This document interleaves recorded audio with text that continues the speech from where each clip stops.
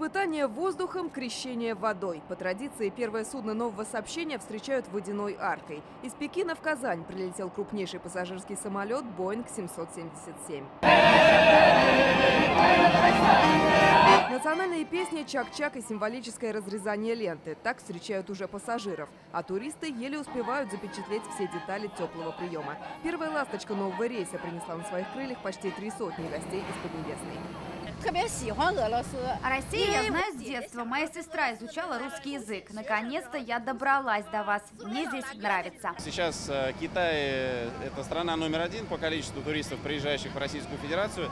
И у них э, очень хорошая динамика. Я думаю, что это тренд на ближайшие 10-15 лет. Россию китайцы действительно любят. Синджан уже знает, что здесь посмотреть и какой привезти сувенир. Ленин Ленин. Ленин, Ленин, у вас же учился Ленин. Мы прилетели в Казань, чтобы посмотреть здесь ленинские места. А еще я очень хочу найти диск с музыкой Чайковского, чтобы слушать в Китае.